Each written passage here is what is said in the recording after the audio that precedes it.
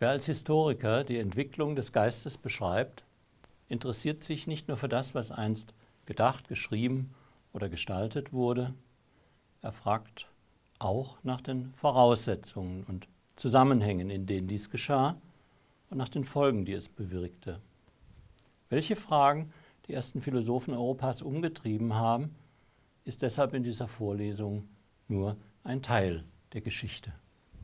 In ihr geht es auch darum, wie es zu diesem ersten Kapitel in der Geschichte der europäischen Philosophie gekommen ist, welche Voraussetzungen dafür nötig waren und in welche historischen Kontexte die frühen Denker gehören. Sie erfanden die Philosophie als historisch völlig neue Weise des menschlichen Nachdenkens über sich selbst und über die Welt, die ihn umgibt. In den von Ihnen gezeichneten Koordinaten bewegen wir uns bis heute. Aus welchem Nährboden also ist die Philosophie erwachsen? Erstens also zu den Voraussetzungen. Ich werde diese Voraussetzungen in drei Schritten umreißen und zunächst das historische Umfeld skizzieren, dann die Veränderung von Weltbild und Weltkenntnis und schließlich die Position, die die Denker in der griechischen Poliswelt einnahmen.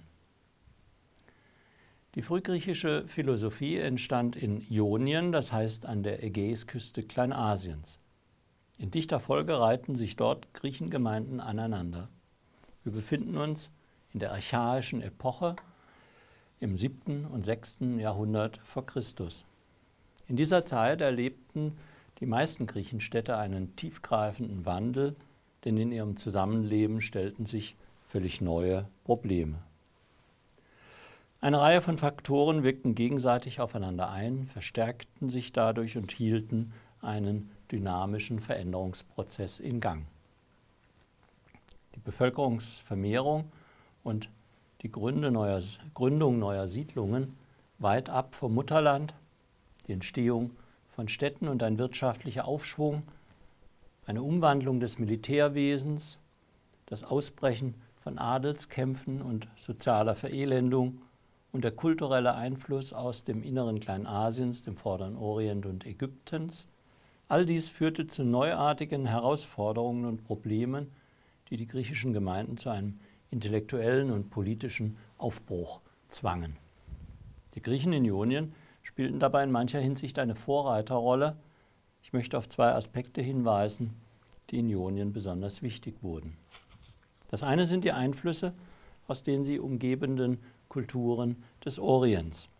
Ionische Städte wie Milet, Ephesos oder Phokaia waren Kopfstationen für den Handelsaustausch mit den Völkern im Inneren Kleinasiens. Ferner beteiligten sich besonders kleinasiatische Griechen an der Errichtung von Handelsplätzen am Rande der alten Hochkulturen, etwa in Almina an der Mündung des Orontes in Syrien, in Gravisce an der Küste der Etrusker in Mittelitalien oder im Nildelta. Dort gestattete der Pharao die Gründung des Stützpunktes Naukratis unter Führung Milets. Die Griechen erhielten nicht nur Zugang zu ägyptischem Getreide und Luxusgütern im Tausch gegen Silber und Söldner. Die Händler und Krieger brachten auch neue Vorstellungen und Erfahrungen mit einer fremden Kultur zurück. So entwickelte sich ein lebhafter Austausch. Die griechischen Ritzinschriften im ägyptischen Abu Simbel einerseits und die Weihegaben des Pharaos im Hera-Heiligtum zu Samos andererseits legen davon eindringlich Zeugnis ab. Es waren vor allem die kleinasiatischen Griechen, die sich ohne ihr eigenes dabei zu verlieren, den neuen Erfahrungen offen aussetzten und ihre Kenntnisse erweiterten in Geographie, Mathematik und Astronomie ebenso wie in Kunst und Religion. Eine herausragende Rolle spielte das kleinasiatische Griechentum zum Zweiten für die Ausbreitung der griechischen Kultur in der Mittelmeerwelt und rund um das Schwarze Meer. Wiederum Milet wurde zum Gründungszentrum mehrerer Dutzend neuer Siedlungen im ägäischen Norden und an den Küsten des Schwarzen Meeres. Mit dieser Siedlungsbewegung stellten sich in Vorbereitung, Organisation, Durchführungen und Folgen Anforderungen, die auf vielen Gebieten einen radikalen Wandel hervorriefen. Dadurch kam es zu einem neuen Erdbild, dazu gleich noch mehr, zur Etablierung neuer politischer Institutionen und Verfahren, zur Schöpfung neuer eigenständiger Gemeinwesen praktisch aus dem Nichts, zur Formung neuer individueller Einstellungen, zur Schärfung griechischer Eigenart im Spiegel des Fremden. Diese sogenannte große griechische Kolonisation reichte von der Krim bis nach Libyen und von Thrakien bis nach Nordostspanien. Sie wurde zum vielleicht wichtigsten Faktor für die Einsicht der Griechen, dass menschliches Zusammenleben und kulturelle Tradition nicht etwas naturwüchsig Gegebenes sind, sondern von Menschen nach eigener Einsicht und Entscheidung gestaltet werden. Beispielhaft für die neue Spannweite griechischen Lebens waren die Kolonisations- und Handelsfahrten der wagemutigen Seefahrer aus Phokaia nördlich von Smyrna. Sie waren, wie der Historiker Herodot bemerkt, zitiere, die ersten Griechen, die weite Seefahrten unternahmen und so die Adria, Etrurien, Iberien und Tartessos, das heutige Cadiz, entdeckten. Sie fuhren also bis ans westliche Ende des Mittelmeeres, ja durch die Säulen des Heraklos hindurch, wo sie in Tartessos das begehrte walisische Zinn und spanisches Kupfer, beides braucht man zur Herstellung von Bronze, gegen Erzeugnisse des griechischen Handwerks oder orientalische Luxuswaren tauschten. Auf ihrem Weg gründeten die Phokaia eine Reihe von Tochterstädten und Stützpunkten, so Massilia, das heutige Marseille, Nizza, Alalia auf Korsika, Emporion an der Costa Brava und Elea am Tyrrhenischen Meer.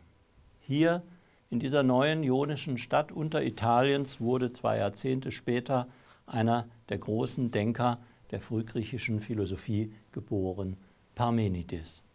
Mit ihm entstand ein zweites Zentrum neben Milet und Ionien, an dem sich die Grundlagen des europäischen Denkens entwickelt haben.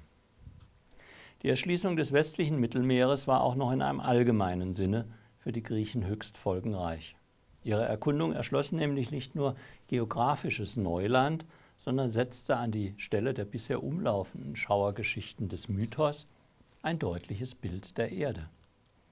Die Phokaia und andere leisteten damit auch einen wesentlichen Beitrag zur Entmythologisierung und verwandelten die irreale Szenerie der Schiffermärchen, wie sie sich noch bei Homer finden, in einen menschlicher Erfahrung zugänglichen Raum. So weitete sich innerhalb weniger Jahrzehnte der geografische Horizont beträchtlich aus. Und man gewann allmählich eine immer präzisere Kenntnis der geografischen Gegebenheiten im Einzelnen. Die Reiseitinerarien der Schiffskapitäne konnten dann in der ersten Hälfte des 6. Jahrhunderts vor Christus abermals in Milet in ein kohärentes Kartenbild umgesetzt werden. Sein Aussehen lässt sich zwar nicht mehr rekonstruieren, aber es ist uns äh, bekannt über die Erdkarte des Milesias Hekataios gegen Ende des 6. Jahrhunderts, in die diese ersten Erfahrungen eingegangen sind. Die Milesier erfanden also erstmals ein, ein grafisches Weltbild. Dazu mussten sie sich von der unmittelbaren empirischen Anschauung entfernen, um diese mit Hilfe einer rationalen Konstruktion zu verarbeiten. Seit dieser einschneidenden geistigen Leistung war es prinzipiell möglich, die Erde als Gesamtheit in den Blick zu nehmen. Die Griechen betrieben diese Erderforschung zwar nie aus rein wissenschaftlicher Neugier, sondern aus konkreten politisch-wirtschaftlichen Interessen. Dennoch wären ohne diese neue, rationale Einstellung zur Welt als menschlichem Lebensraum weder die späteren Weltreiche der Antike denkbar, noch die Entdeckung des Erdballs von Europa aus in der frühen Neuzeit. Mobilität in vielerlei Hinsicht, im Raum wie in der politischen Veränderung oder in der gesellschaftlichen Stellung ist ein prägendes Signum der archaischen Epoche. Im Zuge der angesprochenen Wandlungsprozesse war es jedem Einzelnen möglich, durch individuelle Tüchtigkeit und Leistung seinen Platz in der Gesellschaft zu suchen und gegebenenfalls zu verändern.